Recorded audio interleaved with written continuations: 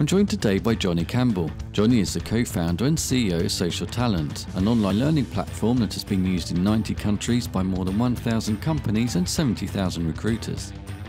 The path to the success of the business has not always been an easy one. In this interview, we learn what has driven Johnny in his life and career and how his tenacity and resilience, along with the support of his family and his business partner Vince, has enabled them to create a globally renowned company that has shaken up the world of online learning and recruiting. It's a pleasure to introduce Johnny Campbell. Johnny, tell me a little bit about growing up. What was that like? It was fun, like most kids. Um, I grew up in a family of six, four kids. Uh, I was the, or I am the second youngest, older brother, two sisters. I had a happy childhood. Um, we, we had our troubles like everyone else. My dad worked for himself, um, didn't always have work, worked in construction, tarmac. And uh, sometimes there was work and sometimes there wasn't work. And uh, my mother had to go into work when I guess I was probably about uh, nine or 10. And she'd go get a job and try and bring in the income. And she kind of made from then became probably the main breadwinner for a while. And I went out to work with her, and she used to merchandise in shops. As a 10 year old, I went around to help my mum after school, and she'd pick us up. And um, yeah, so I kind of, I loved that. I was, I loved being busy. I was, you know, I had this dream of being a businessman. Of, uh, you know, when I was, when I, when I was younger, I always thought, I want to have a job with a briefcase. And that was, that was it. By 11, I got my first job in my local video store. I used to hang around the video store. We couldn't afford a video player. Nobody could then. And uh, we used to rent one on the odd Friday night. It was an indulgence back in the day. And I used to just go up to the video shop when I was out of school and just hang around and watch the videos they were showing. And eventually the woman who owned the shop took pity on me and said, do you want to help out tomorrow night? And uh, that was, I was 11. That was my first job. And I started helping out three, four days a week um, in the video shop. And I was known, I'm still known from anyone who comes in the area I'm from as the video shop boy. Uh, you'd come into me at I was 14 and you'd ask me what recommendations I have. As a, I, I've seen every film that was released in the 80s and 90s umpteen times. Um, but yeah, it was my first job. You're someone now that I think comes across as having a lot of energy. Have you always been like that? My teachers hated me. Um, the odd teacher loved me, but I was disruptive. I'd, I'd try and be the class joker. I'd give lip back to my teachers. Um, I just constantly trying to be talking and buzzing. Um, but I've always liked the limelight, and that's you got to have energy if you want to be somebody who likes the limelight and likes to be the center of attention on things like that. And I, I, I like that. I love the buzz of being a 12 or 13 year old that people would ask for video advice, adults in the video shop, and that I've always worked with customers in that way. Like I've always been from 10, I was out with my mom working in shops and you'd be stocking milk and shelf and people would ask you different questions. You'd have to talk. In the video shop, you have to obviously converse all night long, all day long with people. Into by, I say by my mid-teens, I had seven uh, jobs, seven employers. I was getting up in my racer and cycling to the local Tesco to stock milk before school. I go to school, leave school, stock bread and crisps in another shop. Um, and all those jobs were, were customer facing, you know, where you have to talk to people. And I think if from a young age you are always being forced to talk to strangers, you kind of have to have that high energy. So, what were you like at school in terms of your academic side? Um, I've never struggled uh, with academics. Uh, I guess I, I'm naturally bright in that way, in that I can do exams. Um, I can get high grades. I got a scholarship into secondary school, um, and I wouldn't be, but I'm not academic in the traditional book academia. I don't study. I'm a lousy study. I, I, I probably would be better now, but I never study for exams. I just got away with it. I'm mathematically minded, good at English. Um, but when I got to the point where I could actually choose my own subjects, so once you got to, I guess, about 15 years of age, I wanted to do business. And I had three subjects I could pick, and I said, I'll do all business. And I was advised, don't make all business. And I did physics, and I did business studies, commerce, accounting, I think. And at probably by 15, I realized that the degree to go on to was business studies or commerce. And uh, um, so I was always right, I got to save up and I got to pay, if I'm going to do this, I'm going to pay my own way and I'm going to go and go to university. I'm going to get the points to go to University College Dublin, which is one of, say, the two leading colleges, and I would do business there. But I kind of got lost in my day to day in the university, my jobs and everything else, and being so busy with ents and so on and so forth that I kind of didn't tackle that question of what do you want to do when you finish. But I knew that being in university was important to me. Um, but then I got to all of a sudden it was my final year and I was doing my final exams, and I hadn't actually studied. In fact, of the 16 subjects I had that year, I only met met I think five or six of the lecturers. I'd literally never seen the other nine or ten lecturers, never been in their classes, never been tutorials. I spent a month where I slept every second night. And I basically had a, a diet of Red Bull. And uh, through it all, in a haze, because I can't really remember that time because I was so sleep deprived, I got my, my degree. Um, I came out going, right, got to get a job now. I literally had no idea what to do. So I applied to everything, every graduate job. I applied to jobs in the UK with breweries on graduate schemes. I applied to insurance companies, sales companies. I was still working nights in the nightclub.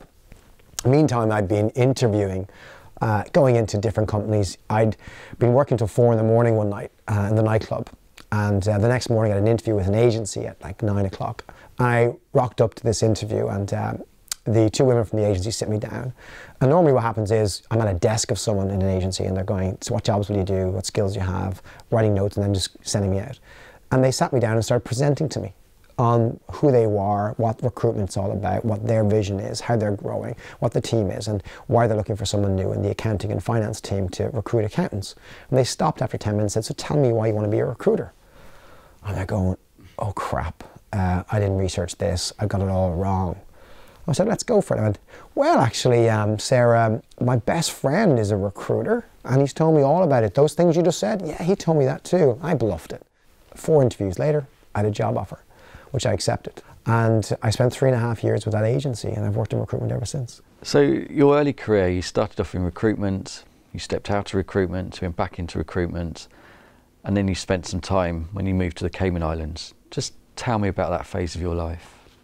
So, I left recruitment after three and a half years, 24 years of age, thinking I knew everything.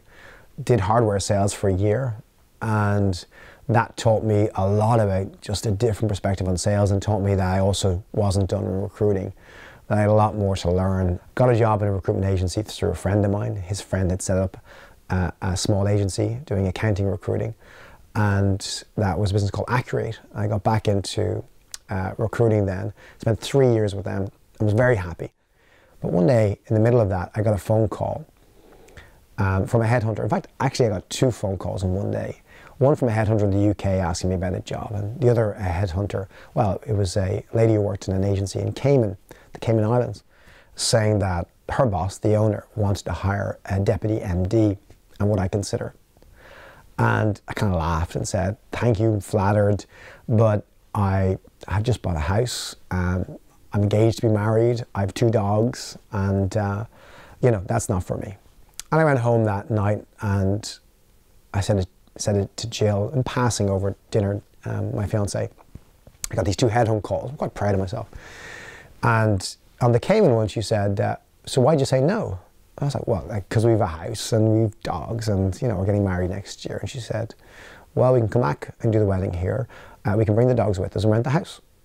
So why'd you say no? I was kind of stuck. Uh, well, do you want me to bring them back? And she said, yes. Then we said, well, where's the Cayman Islands? I have no idea.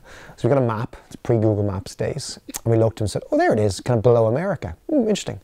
And we rented the firm out with Tom Cruise because that's the only reference I had was, that's in the Cayman Islands. And I saw a snapshot of a beach at night. That's all I got. So I called them the next day and long story short, uh, four months later, I was, I arrived in the Cayman Islands on my own, off a flight. Um, my wife and two dogs were to follow on a month later. And I arrived in Cayman um, to join this company I'd never heard of uh, on an island I hadn't previously known uh, to run the recruitment agency. So, what was that like?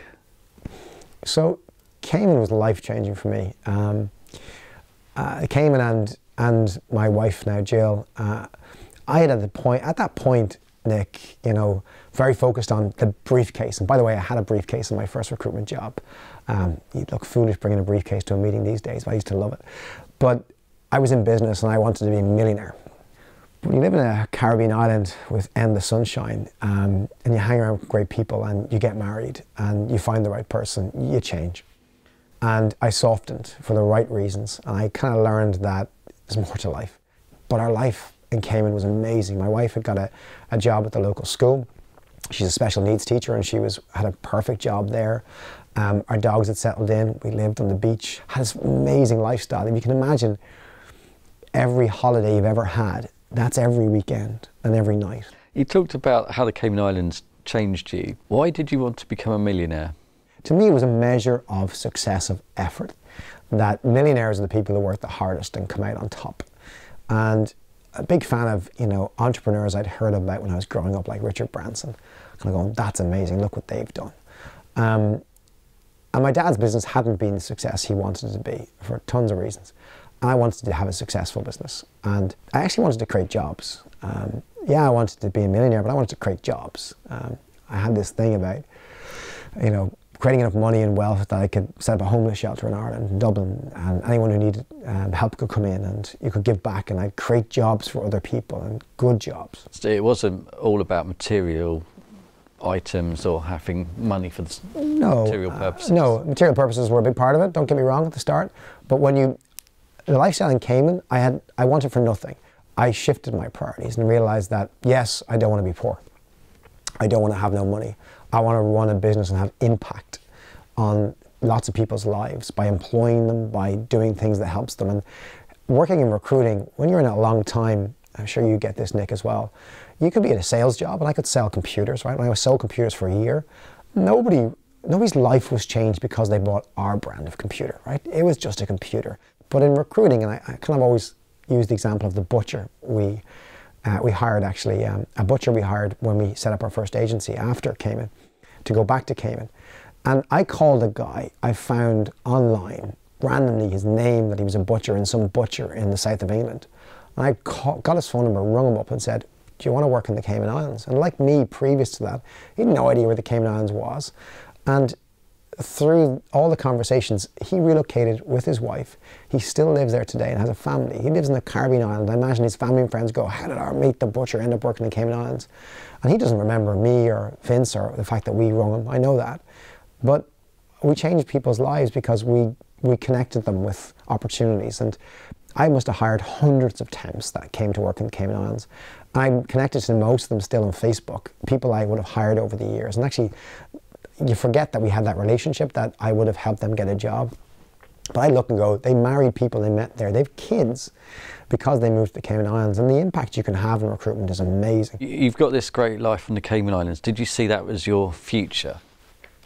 So, no. Um, funny stuff. I was meant to come back and set up a business with my old boss. He was on an earn out from the company he'd sold that I'd resigned from. And after about a year and a half, I was due to come back and we were going to set up a new recruitment agency together. And that was all set to happen January 2008. And week before Christmas, the December 27, uh, 2007, um, he gave me a call and said, listen, the partnership, which was going to be 60 40 in his favour, he was changing it. He was inviting another old colleague of ours to join. And anyway, I was sitting in my board shorts and Havaianas and a t shirt in the sun outside Kirk Supermarket in Grand Cayman, sitting on the ground with my phone. And I said, Well, I'm not going into business anymore.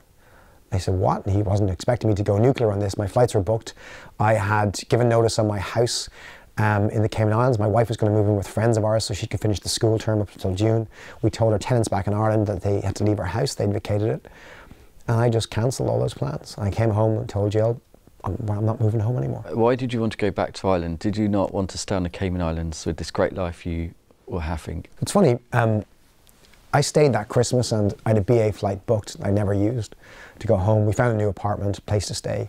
A couple of friends of ours came over to visit us at Christmas and uh, um, I wasn't meant to be there. I was meant to be home in Ireland on my own in a cold January and I wasn't. Accidentally, I was stayed in Cayman and we got pregnant um, that January, February, uh, which shouldn't have happened.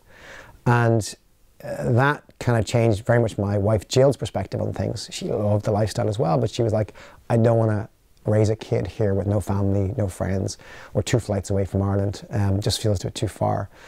And we were the, you know, our friends and came and none of them had kids, so we were the first. So um, we moved home. And uh, we were due our first child in September, so we moved home in, in July. But I didn't have a plan. And my plan was changed. I was like, I was like, I'm going to set my own agency up then. I didn't like the idea of doing that. It sounded lonely. because I'd like the idea of a partnership with somebody else. Do you, are you somebody that thrives off having other people around you? I need various muses and people. Um, other people bring out the best in me. Uh, I'm probably not as good on my own. And I was looking for a partner, and I had remembered a, this guy who um, uh, I knew from Cayman, Vince, who'd been in sales, head of sales for Digicel. And coincidentally, we just announced we were pregnant to our friends. My buddy said, Do you hear Vince is coming back to the island? I was like, Really? I thought he didn't want to come back to he would come back here. And he goes, Well, he's been put, made a big offer, like a huge package. He's going to be coming back to Did you Digicel. Don't tell anyone. I said, All right. I rung him. I said, Harry, I, see, I heard you're coming back. I said, Yeah, he got the money. Can't really turn it down. He goes, Hmm. I said, Would you go into business with me? He said, Do what? I said, I'm going to start a recruitment agency. He goes, oh, What's that like? I said, Oh, you'll, you'll make millions. And he goes, Really? I said, I'll send you a spreadsheet. And I, in my head, this all made sense. Um, he goes, Yeah, I hate my job. Let's do it. So I moved home in July. We moved back into our house. We were two, three months out from having our first child. Uh, Vince quit his job and we set up Select People, which was our first recruitment agency. And we said we'd, um, we'd recruit people to work in the Caribbean and overseas because I still had my clients and connections and they, I felt they would still work with me. But by September, the world had collapsed. Um, recession. This was 2008. 2008, yeah. Uh, I hadn't, you know, I don't say I saw it coming. I didn't see it coming. Um, and we set up this business. We put, I think, five or 10 grand in each that we'd saved to set up an agency. I was working out of my house. And by September, I had to work out of a porta cabin in my back garden. I had a two bedroom house. We needed the second bedroom for the new child. I had no money to rent an office space. We already kind of knew the world was ending, uh, you know, economy wise. Um, and so I rented a porta cabin that was lifted over my back garden wall, and, and that was my first office. And Vince was working out of an office. He worked out of a, a literally a dilapidated old farmhouse that he had a 20 meter flex running from his barn house um, to power it, and a heater on one side, one fingerless glove to keep this side warm, whilst the heater kept that side warm. And then during the day, swap the heater over and have a fingerless glove. And we worked together by turning on Skype at nine in the morning. Me from my Portakabin, him from his old house, and we leave it on for ten hours in the background as we worked and tried to fill jobs. But the jobs weren't there to be filled. Um, or more precisely, we had jobs to fill, but nobody was interested in paying an agency fee because there was a recession on. People were cutting back. And the model of having a database or advertising on job boards wasn't going to cut it, wasn't going to get as a fee. And so within a couple of months, we were facing a crisis. We were running out of money. We both had small children, I had a new baby, no money. We were not even paying ourselves. All the money we invested was gone, and we had to figure out a way to survive. So let's talk about that period then from set up as a recruitment agency, the market had collapsed. You had a few clients, but it was quite tough, wasn't it? So we had to find a way to deliver a service that was worth paying for in a recession. And so if you're in a recession, what are the only jobs you'll pay an agency for? They're really hard jobs. So we said, right, we stopped working the jobs that people were giving us because they felt sorry for us or they knew us. And we started saying, what's your hardest job? Is there one job you just can't fill? It's been open for ages. Can we have that, please? And one of the first customers that came back to us was uh, an insurance company in Cayman who had this open role they couldn't fill for a long time. And the subsidiary we placed for, I didn't know they were a subsidiary of a bigger company, and the COO of their biggest company, their parent company, called us and said, Can you do more work for us? For our other sister companies.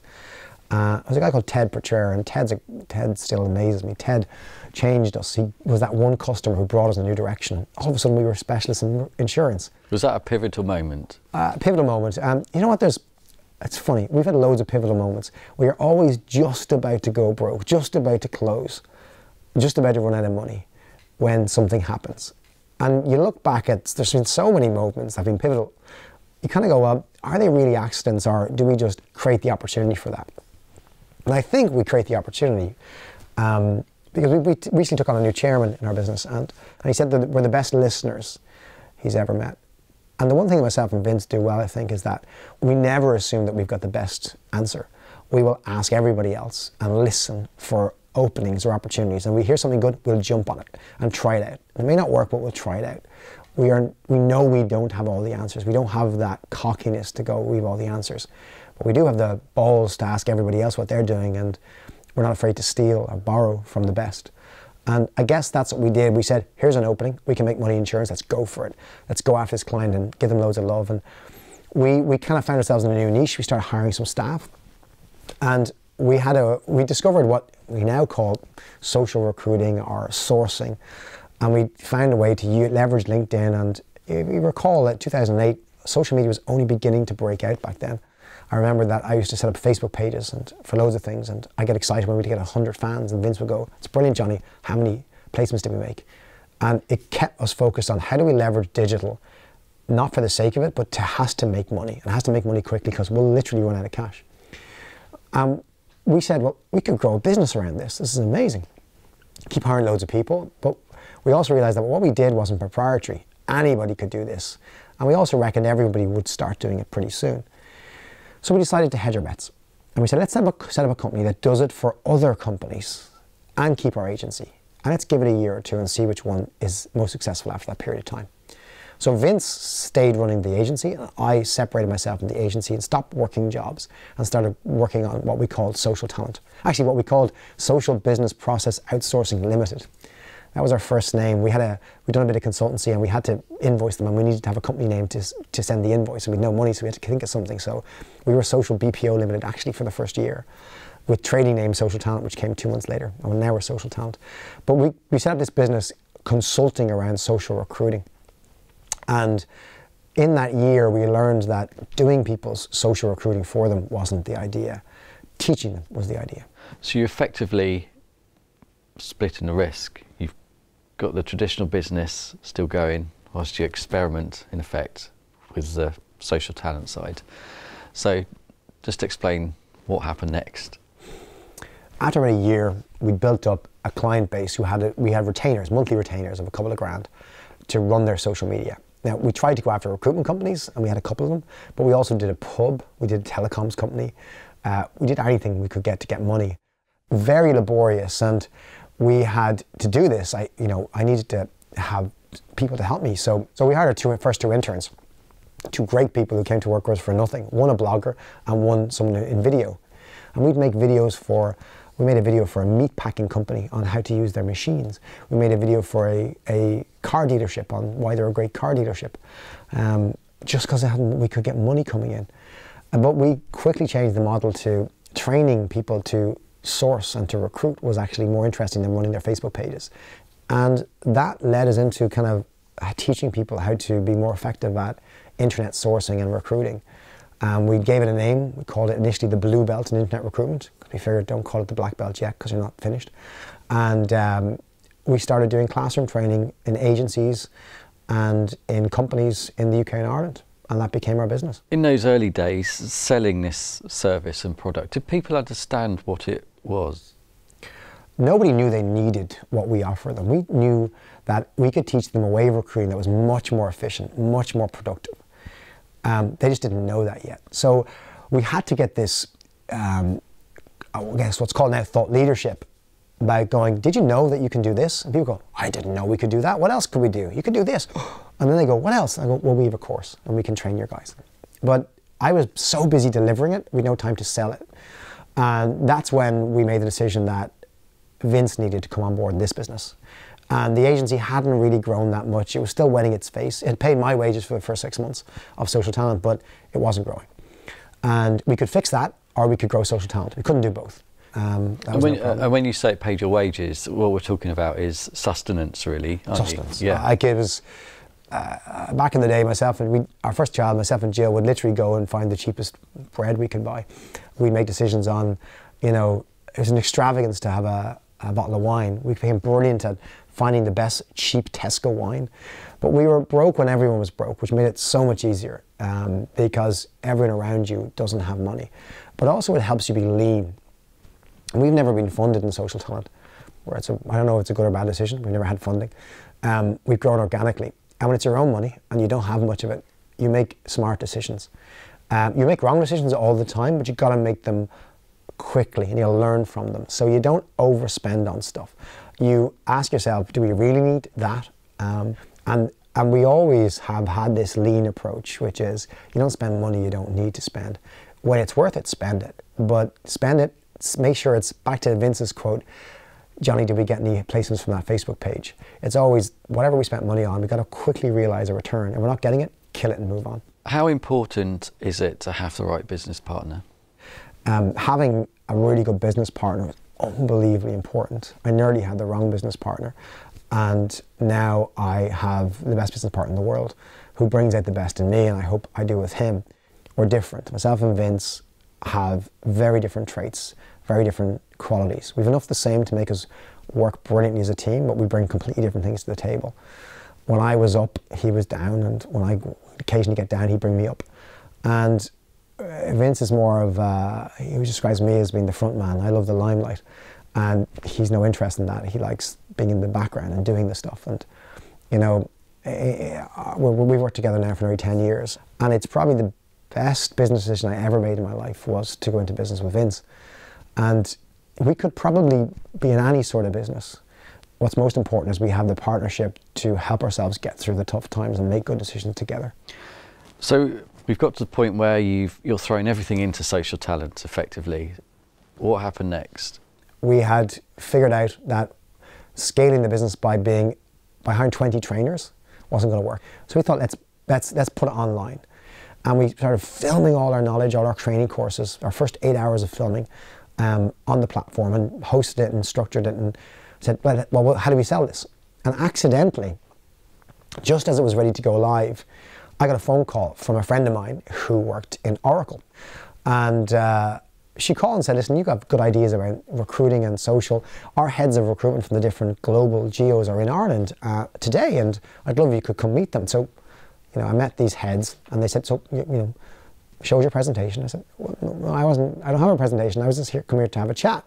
I said, okay. I said, well, these are our challenges. We're trying to use this world of LinkedIn and sourcing and social. How does it all work? I said, actually, funnily, we just, we're launching a platform next month that has all this online. And I opened up my browser, put it on the screen and showed them. And a month later, they became our first customer. Had you given a lot of thought to how that would be sold? We knew what people would pay for a person to come training for a day, and we kind of made up a price. Um, uh, we charged, I think, 195 euros per license the first day, first um, iteration, and we're uh, approaching 10 times that now. Um, we had it mispriced, and actually, it's funny. You want to try and impact as many people as possible. I wanted a million recruiters in the world to learn this overnight. And I figured the only way to do that is make it free. But if we had have made it free for a million recruiters, nobody would have paid attention. When it became premium, when it became a quality product that only people who were serious about investing in um, would buy or could buy, they took it seriously. They made sure their teams took it seriously. They implemented it. And I've learned you need to bring a high quality pedigree product to the market that is charged at a premium price before anyone takes it seriously. You've just got to this point where you've established in the platform, got your first big client with Oracle. Is that the point really where it start, started to take off?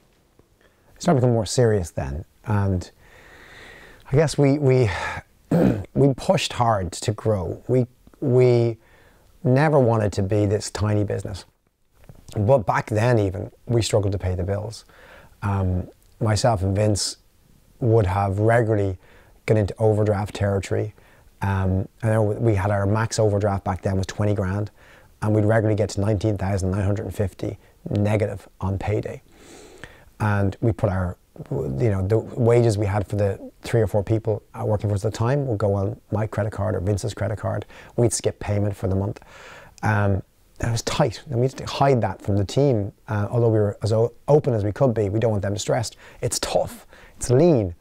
And you then you get cash in, you go, well, just slow down and we'll be okay. I didn't let it. Um, Vince would pull, try and pull me to a more sensible position. I go, but we're not done. We've so much more to go. And we go and hire another person, just as we're getting slightly comfortable again, or we'd spend money on another camera, or we go on a trip somewhere, or whatever it might be, hire another developer. And it's, it's hard because you got to balance this. Uh, you got to grow without growing for broke. Uh, it's so easy to grow, grow for broke. Um, and we doubled and doubled and doubled and doubled and doubled. And doing that with no investment is tough. It's strain on the business. Were you ever tempted by that to get investment? Uh, yeah, we've talked to several, a couple of our customers um, did due diligence with us to try and invest into us. We got to a very close stage at one, and we realized towards the end that they were probably going to really more buy us and assume us than let us continue to live our vision. And it all came down to we were talking to one of their staff about um, their browser. It sounds like a silly story, but they couldn't install a Chrome extension. And they were telling me they had to get IT approved to approve it. It would take three months. We said, are we seriously going to work for a company to take IT to approve us having a Chrome extension on our laptops by next month? No. And we kind of said that's just, it's not us. That we liked doing our own thing. We liked being different. Talk through the last few years and where social talent is at now. We got about 60 odd people now um, at time of filming. We, gosh, we, uh, we sell in 100 countries maybe. Um, we've got users all over the world, platform in three languages at the moment and adding more all the time. Our own development team, um, we're a sales machine, marketing machine, content production machine. When did you start to see the acceleration in, in, in the growth? So really it was, so we're 2017 now, end of 2015, it really kicked into gear. And that's when we started getting serious and then started hiring more salespeople and more marketing people. Last year, we exploded in terms of hiring people. We doubled um, 30 odd people at the start of the year to closing over 60. It wasn't the right way to do it though. And, and what happens is when you're scaling like that, it isn't a linear trajectory of we just keep doubling staff and doubling growth and everyone's happy. You double staff, some of the staff were wrong. You hire them for the wrong jobs. Your product's wrong. The way you market no longer works. The, your product suits the product you built is not the one that suits the customers you now have and things break. And they break about every six to nine months, I've learned. And they break hard. Um, they break in such a way that you could go under and you could you know, disappear overnight. And you don't have the cash in the bank to survive big problems like that. So even though you grow in scale, you create new problems. Your payroll isn't, it's now of a size you can never put on a credit card. Um, so you have to have that. You have to look after those people. And we, we, we had a big wobble midway through last year. Um, no one outside the business would see, see the wobble, but we did internal wobble. Wobble with our culture, we did wobble with the way we sell, we did wobble with our product. Um, and we've come out of that learning what we're really good at. I remember a phrase that I learned from one of my lecturers in commerce when I was 19 about, about innovation. And it was about stick to the knitting. I think it's a principle that was down somewhere. And have you ever heard that? Stick to the knitting?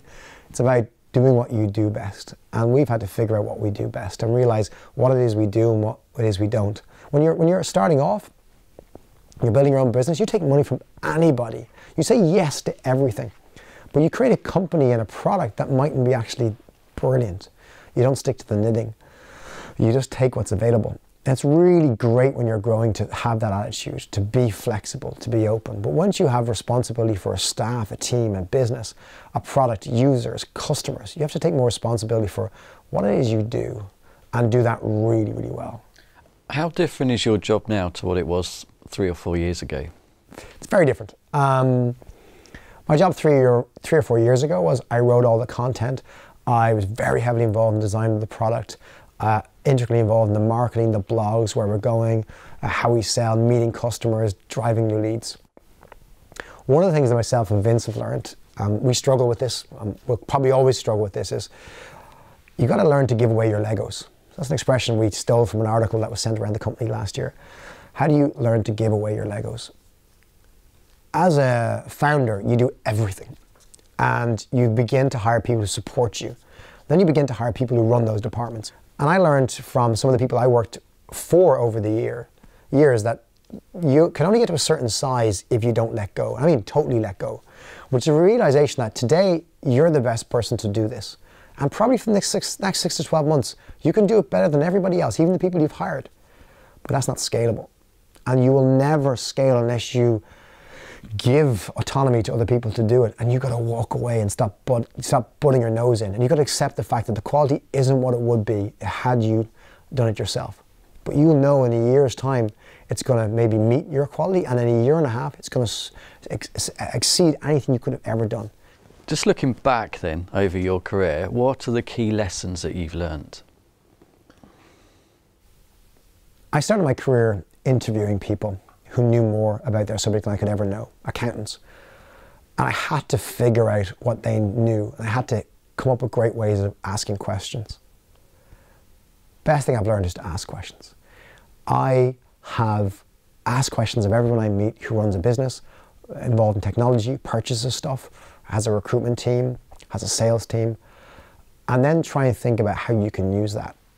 So one is to ask questions, to be open-minded, and to have a really wide source of influence, um, way outside just your, your industry. Second is to to experiment, take risks. I love taking risks, um, but the calculated risks. I know how much risk I'm willing to take, as in I know where I know where the cliff edge is, and I'll run as fast as I can, as close as I can to that cliff edge without falling off. But falling short of that's not good enough. You need to take calculated risks and don't get comfortable. Um, break things, um, challenge things. That's really important. Um, but also give back. You know, um, we now get asked by other companies who are much smaller than us, who are us four years ago for advice. And I will cancel meetings to go meet those people because I still do it for companies who are ahead of us, and I'll keep doing it. Um, give away your best knowledge. It's free. It is, ideas are free, ideas are easy. Execution is really difficult. And I told the world when we first started Social Talent how I felt they should recruit. And I gave it away for free, and loads of people didn't, didn't listen, didn't read it, didn't implement it. Only when we developed a solution that we could work with them did we help them actually implement it. The ideas are always free. Your innovation, your new thing, I'm going to be the whatever of whatever. Someone else has already thought of that, trust me, but executing on that is really hard. And only a small handful of people that can execute and follow through, take the risks, have the grit to survive, um, have the, you could call it the confidence, foolishness, or whatever, to follow through and, and take those risks. Um, but it's kind of going that, you know, you don't have to have the ideas. Um, and your ideas aren't that precious or, or unique either. But your ability to follow through, and even if you need to change course, if the idea you start with isn't the idea that ends up working, the pivoting, your tenacity to follow through with that, to keep asking for advice, to ask for help, to take help, to follow it through, that's going to make you successful when people think about starting a business and you, have shown that you have to throw your heart and soul into it, you have to keep going when it's tough, how do you balance that with the rest of your life? The 28 year old me would have worked 80, 90, 100 hours a week endlessly and maybe would have had a business much bigger than ours is today. Um, the post came in me realizes that you got to see your bigger picture, your why. Just like you look to your customers, why? Well, why do I want the big business? Why do I want to be successful? What do I get out of it? Not monetarily, what do I get out of it satisfaction wise? What do I get out of life? And work is a subset of life. It isn't an alternative to life. Life, it shouldn't be balanced against life. Its work-life balance is crazy. You have work and it's part of a much bigger thing called life. That's much more important. Um, although your work is obviously part of that life. I go home um, when I'm in Ireland, I travel a lot, but when I'm in Ireland, I'm at home sitting at the dinner table at six o'clock. I have three kids. Um, Aaron, who's uh, eight, the twin boys, Jake and Archie, who are two. They're a handful. My wife's amazing. Um, I want to get home and spend time with her and the kids. I don't work weekends. I don't open my laptop in the evenings. I might check the odd email, um, but I try not to. And Vince is the same. And I don't know how much more successful or less successful we, we would be with a different attitude, but we kind of go, you know, do everything you can. Work smarter in the hours you put into your job. You should not celebrate people who work 70 or 80 hours a week. You should, you should say, okay, when are you stopping? That's okay in the interim. What's your plan to stop and get back to 40 hours by next month? Because you're foolish to work 80 hours a week. It's crazy, we all are. You get unhappy. I don't like people in our company working crazy hours. We try and say, go home. And what's important to you now? Important to me are bringing my three boys into the world. Um, what world will they come into? Um, how will they be set for success? What's their way of how they grow up? Will they have manners? Will they be polite? I love meeting different people. I love. I get to travel a lot. I travel about every week around the world. I've seen amazing countries. I meet brilliant people. Um, I still like spending every night in my own bed, my own family, putting the kids to bed, reading a story. Um, I like my time to go running um, and my time out to go for a run and keep healthy. Um, I spend time with my wife doing stuff. Uh, when I'm not working, I spend it with friends. Uh, myself and Jill are terrible for just spending time together. We'd rather go for a meal with a bunch of friends than just go out together because um, we love to chat and hear what else is going on in other people's lives and do that stuff. So my perfect life is always being challenged at work in something that I can see real impact in, but being able to do everything I can for my kids and have a wonderful life with my wife and my friends. And what's your greatest achievement? Greatest achievement is bringing three boys into the world. Um, we had, uh, and hopefully any other kids we bring into the world. And uh, our first came as an accident. Of, it shouldn't have been. Our first kid, I was meant to be in Ireland, not seeing my wife for six months, and by an accident of a phone call made outside a Kirk's supermarket in Cayman one night, my first kid was born. And our next two kids didn't come easily. We went through years of not being able to have kids. Turned out that we probably shouldn't have been able to have our first kid. And um, when, when Jake and Archie were born, it was after years of hard work and tribulation that myself and my wife went through. Uh, whilst I was trying to buy, grow a business and not go broke in the middle of it, and that was really, really tough. So, I see the, I see, you know, the luck, how lucky I am to have three wonderful kids, and to be able to have the opportunity to influence what they do in the world. And I now have three boys that I can help make an impact three times what I can. And they can hopefully, through their kids or nieces or nephews that they influence in their lives, have that exponential impact in what they do. And finally, what does the future hold for you now?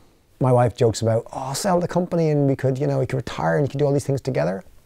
I'd go nuts if I wasn't working and doing my thing. And we now have a comfortable enough life. Myself and Vince using an analogy. We have this analogy from years ago of pots and pans. So we say that when you get, if you get successful and you sold your company or you grow and you pay yourselves more, what do you do with that money? What do you buy fancier pots and pans? So your pots and pans are more expensive than you used to have. And then you buy more expensive stuff, but you don't really have the same value. I'm fine with what I have right now. It'll do me absolutely fine. I don't spend much money on anything. Um, what I'd like to do is travel, do stuff with my kids, my family, bring them on trips, do stuff with the boys. We love doing stuff together as a family, getting out. I kind of drive my, my wife nuts at weekends because I don't like to sit in and sit still and relax, as she says. I like to get out and do things. So hopefully the future has more fun, more trips, more dinners with friends, more nights out, more people over in our house for, for, for dinner and chats, and more opportunity to do really cool things with social talent. Johnny, it's been a pleasure talking to you. Thanks, Nick. Thank you very much.